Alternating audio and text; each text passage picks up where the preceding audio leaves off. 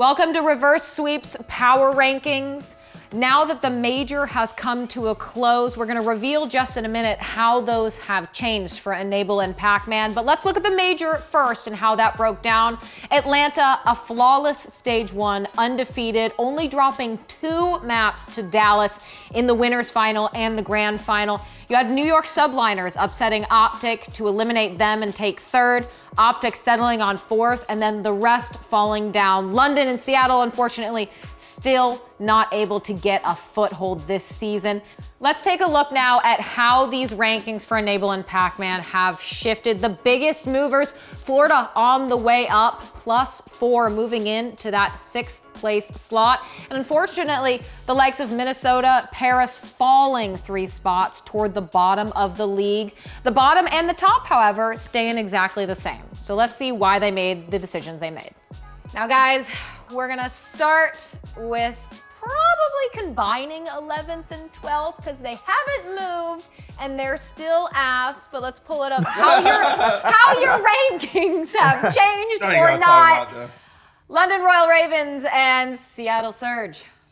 11, 12, Yeah. the, the blow it up Yeah, spot. yeah. The trade for picks is what I like to call it if you're in that in, in those bottom two spots. It's I don't even we don't really got nothing to say. Mean, London hasn't won a series. London hasn't won a series. Surge has beaten London. like that's rough. Uh, I don't even know if I believe in the Surge's ability to trade for picks because You they saw don't. that went last year. yeah, we don't really know what they're doing when it comes to that, and they also have a bunch of pretty good players individually. They just don't work well Yeah. together. I, So I, I don't, I don't really know what they would do. it's so it's so weird. Like London has options. Like they can, they can go for Hydra from Mm-hmm. from New York since he's not playing. and New York's really good now. They could get Waskins. They could. They could do yeah, they They could could. make They have couple options. moves. I They feel could- like it's that would fit. it's because Seattle, no one wants to play for Seattle anyway. You know what I'm saying? Like, it, it's that's just how it is. You know, they're gonna have to pick up Proto and Panda again if they if they, They, want to they make. a can't move. do that. They they they can't. They, won't. They, They, can't. won't. They can't do that. Imagine though. But it, it's it, it's weird because Seattle, they have a lot of players. When you look on paper, you're like, oh, these guys. I mean, they they're all champions. Yeah. You know, it's but it's just like not working. And I don't know. I don't know what it is. It it could be a million different things, but they're just not good right now, in my opinion. But they are better in London. Well, yeah. Well, they, they, they are better there's than that. London. They are better than London. You're at the bottom of the barrel, but not at the bottom. So thank You're you, squishing London, into the bottom of the for um, some sort of cushion. But Minnesota, unimpressive in the major, and thus they fall three spots, taking 10th right after Seattle and London. So, Pac-Man thoughts, Minnesota moving on down. I mean, if you're gonna be that bad at hardpoint, you have to be Atlanta FaZe levels of good in S and D. And although they're really good at S and D, they're not that good at S and D. Yeah. And you're just not gonna make it losing every hardpoint you play. They're not a strong enough team for that, and they, have, they haven't figured it out. I'm- yeah. they could like we were talking about them uh, last episode where it's they have a lot of potential, you know, and they could really make some noise and and climb the rankings. But they're just the they might be the worst hardpoint team in the game right now. Luckily, Surge and London are in the CDL because it's hard to not be the worst team when you just can't win a hardpoint. You're automatically Yeah. losing two maps in a series. So it's they and they look so they look good in S and D. Mm-hmm. They look solid in control, but like two maps, you're just You're- chalking you're up. donating you two might, maps. Yeah, you might as well just not even play them at this point. We we did say I'd rather be good at S and D than hardpoint because of the. yeah, but Well, you have to at least because be of the reps. mediocre But you can't be hardpoint. dog shit. But you can't be yeah, but you can't be giving them all the way. When you're bad at a hardpoint, you should win one one of three. Like you should win some of them still when you're bad at it. At least be around forty percent. Yeah, yeah, like, they're and you're like still bad. seventeen So right now. Right. Like- But like, so shoo, you get you're out there donating maps away to teams that who they lose to. They lost to Ultra. Ultra's a solid team, but you don't donate two hard points. you don't. No, to- I to mean you Ultra. can't afford to consistently no, consistently when there's, be giving. when you up. start to look towards the top, if you're donating to the Ultra, that means you're absolutely getting Yeah. had bad by Optic and Subliners and all those Yeah, teams. and it doesn't matter if you're good at S and D because if you go up against them in Atlanta, they're 11 and one. Yeah, you're S&D. not. You're not gonna. I mean, Yeah. and the thing is though is it's not even like they're losing these hard points close. You know where it's like they're just choking, like they just can't clutch up. They're getting pretty much battered by every team in the league when it comes to hard point. So it's it's weird to me that they could be that bad Mm-hmm. in hard point.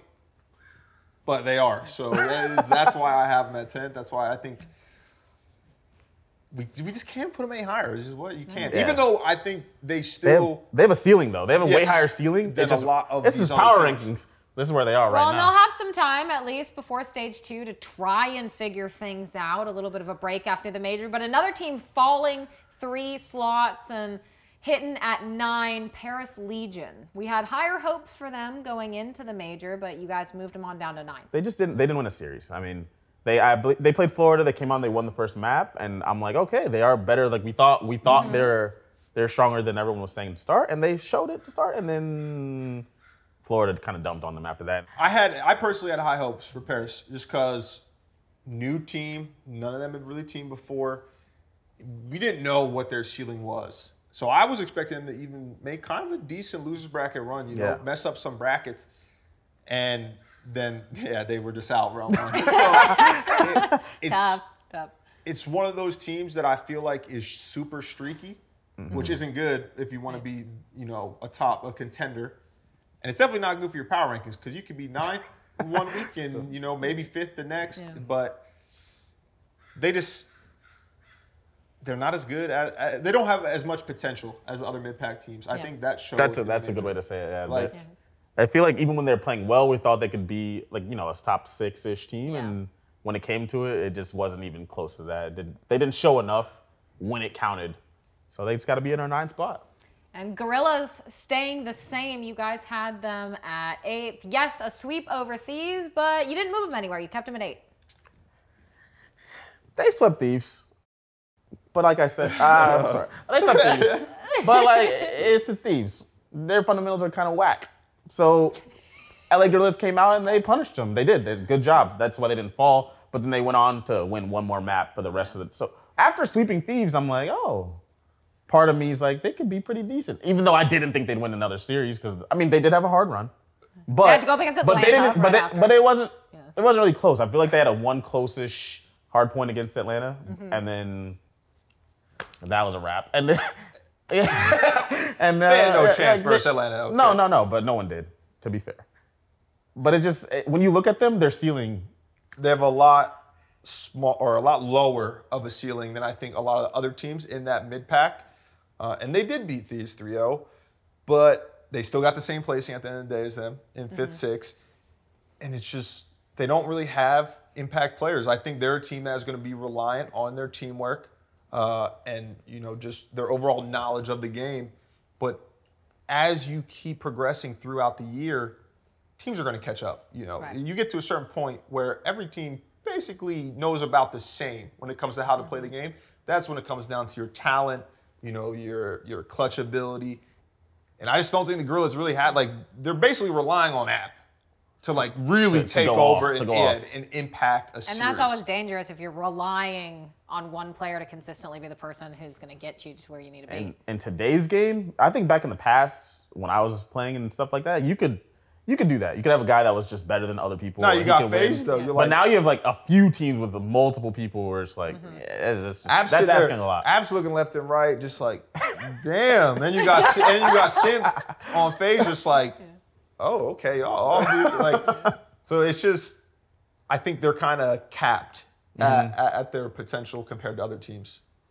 The first team to move up a couple spaces, that is Toronto Ultra, moving up two spaces to number seven.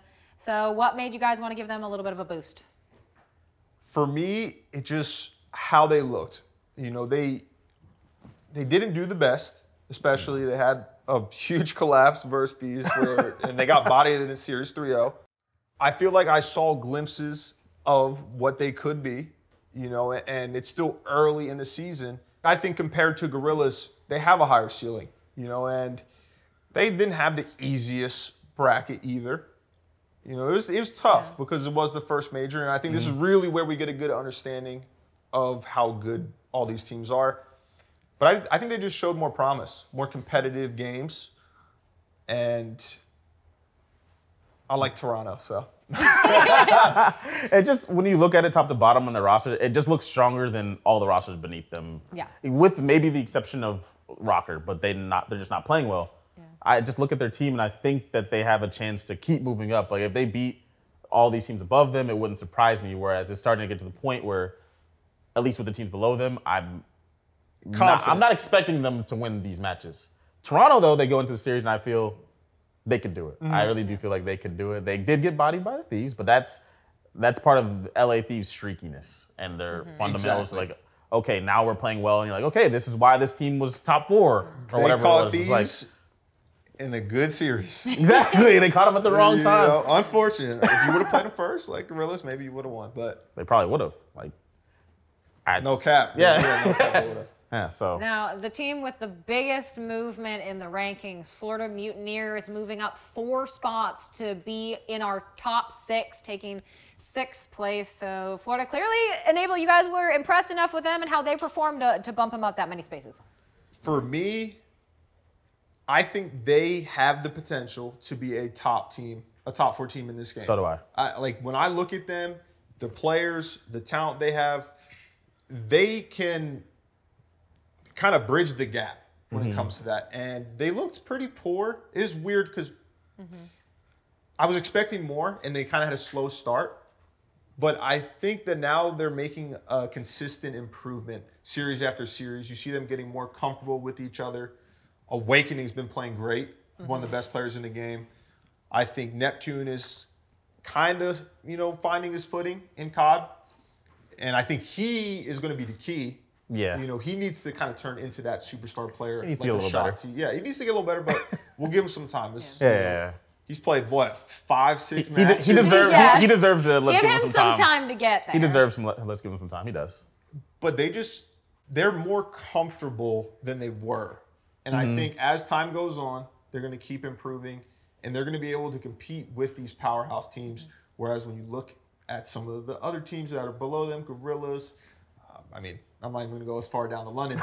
you just know that eh, where are they really stacking up? I think you make a good point about Neptune because their ARs, Skyz, and Owakening, they're top of the Yeah. top, they're top of the line, upper Top echelon, AR duo, top sure. AR duo. Skyz did something crazy to Seattle where you started out 12 and one, absolutely world star in them. but if Neptune actually gets up there to the be just like anywhere anywhere close to the top subs, like In I, am not, I'm not conversa- in the expecting him to be better than those guys or whatever. Just be near it, be in the conversation, be up there they could be really good. They could be a really good team. I, uh, they lost three to two to New York, but New York's an upper echelon team. That's how they got knocked out of the tournament. They looked Florida looked really competitive. They were up 2-0.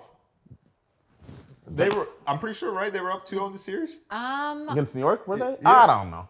Yeah, the New York. Suffice to say, though, it was Yeah, competitive. Yeah, yeah. Reg- reg- It It was yeah, they were up was, it 2-0. was- Like they yeah. had, and you see how far New York made it. Mm-hmm. And I was surprised by that series. But if they close that series out, who, Who They could have been in the same yeah, spot. who knows? You know, so I, I feel like it's well deserved that we move them up the ranks, and they just they have a lot of potential. Yeah. So let's talk now about four and five. I'm going to kind of lump them together because you switched places for them. We originally had Thieves. They're at fourth and, and Subliners in fifth, but now you've reversed those. Subliners sitting fourth, Thieves in fifth. So, so Uh, It's, why a, that it's a little bit unfair to group them, but I get what you're doing. They they split they flip spaces, but it's like five, and then it's like four, four three. Oh, it's not Cal. It's like it's like five, four, three, three. You know what I mean? Eh, Five though. Five. I'll though. give you subliners. Five. should be fourth. I don't think it's by a crazy amount. five, four, three. You know Is that all you're gonna say? Are you gonna give That's- better analysis on that? Five.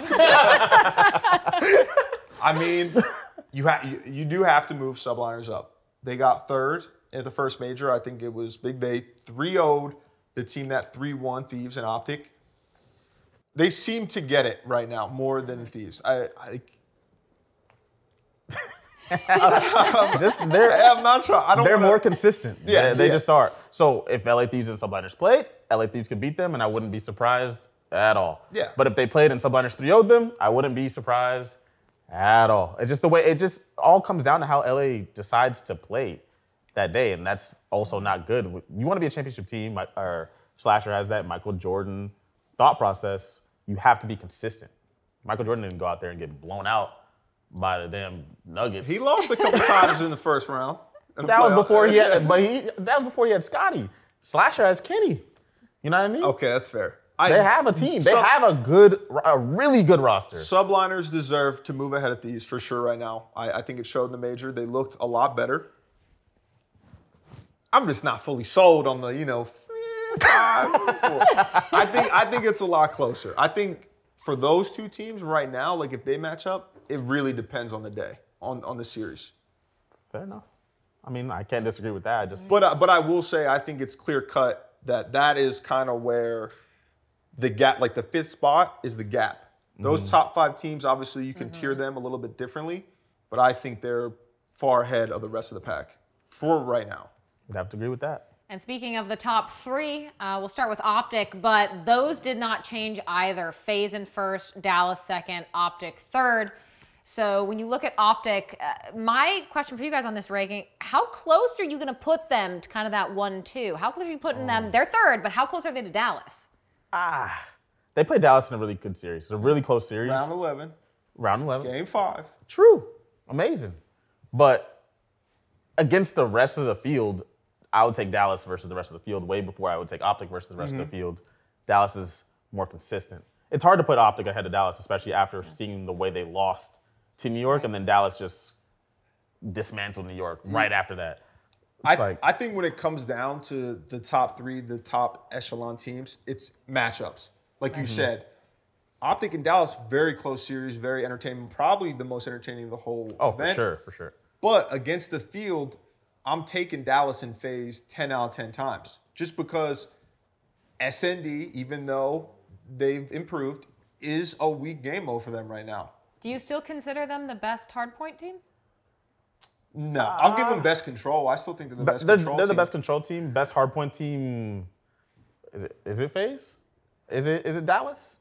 Well, it's I'm not- definitely not optic if you want to just talk about the major because they mm-hmm. lost two hard points to Dallas. Dallas. To Dallas, yeah. So They- Optic is a top respawn team. They Obviously, are, they They're, are. they're in the third spot. And I just think if you were to talk about Optic versus FaZe, Optic versus Dallas, yeah, they could be some close series where Optic might win a couple times. But against the field, I'm taking both of those teams Mm-hmm. 10 out of 10 times right now just because of how well rounded they, they both are. So I think there's a.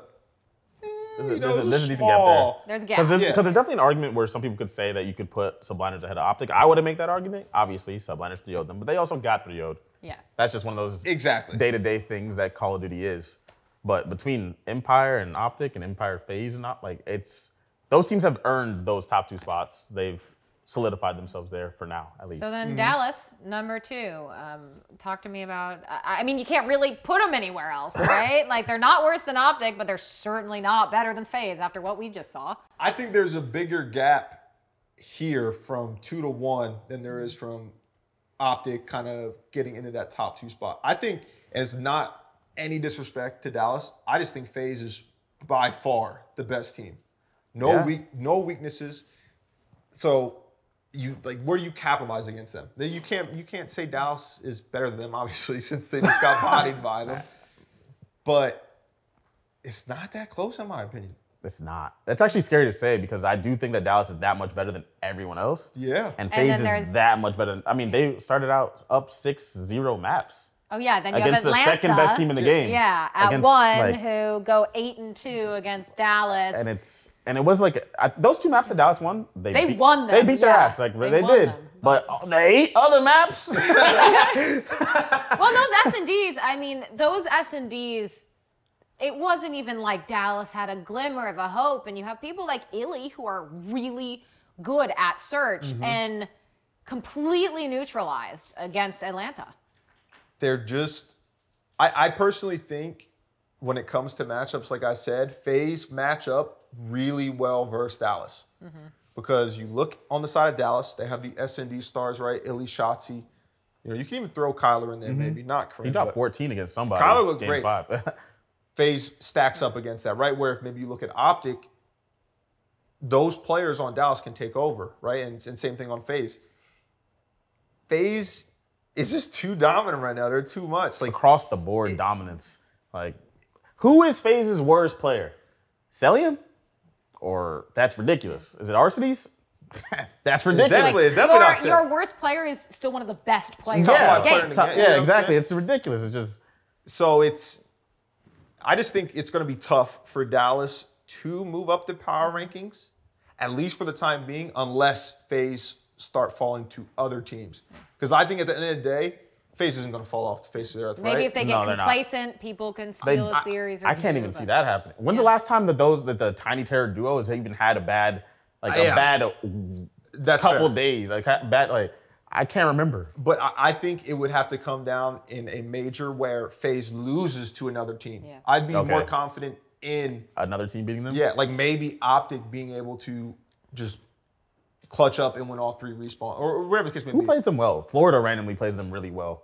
Well, I think I think Wait, some of the lesser teams play them well because mm-hmm. maybe it's a Yeah, they ego went game thing. They don't Paris. give they don't give as Yeah. much respect, or you know they just don't know those teams' play They don't styles. study whatever. them Yeah, as much. yeah. They're not as worried about It losing to be Paris as they are Dallas, of- so they might take them more seriously in studying. It could be a bunch of other factors, but I just the studying something that you just mentioned. When I talked to Crowder after the major, he told me that that was the most well prepared the team had ever been, it showed. ever been in a match they went into. And yeah, you ate to them through the winners final into the grand finals. So It was almost as good as uh, the eight one FaZe versus Optic and AW when I was on the team. You know, most dominant. There was no studying in that game. There was a lot, but There was no studying in that game. You just dashed around and shot people. it. but he did it really well. I did it fantastic. no, he fantastic. did. He was good at that one. Gotta gotta give respect though.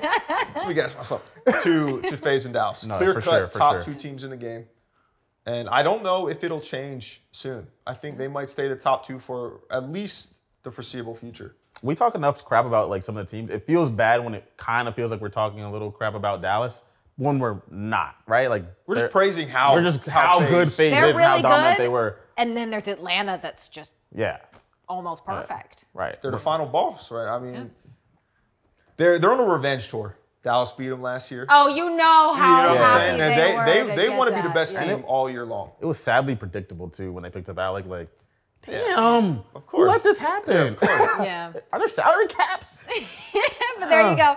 Atlanta and Luxury Dallas rounding out our top two. The biggest movers. Minnesota, unfortunately, on the way down. Florida on the way up, moving up four spots to number six. So some shuffling in the middle there, but at the very bottom and at the very top, no movement to be found. We'll see how that changes going into stage two. But as for right now, congratulations to Atlanta, the top spot. Dallas and Optic right behind him, and London and Seattle. I wish you good luck.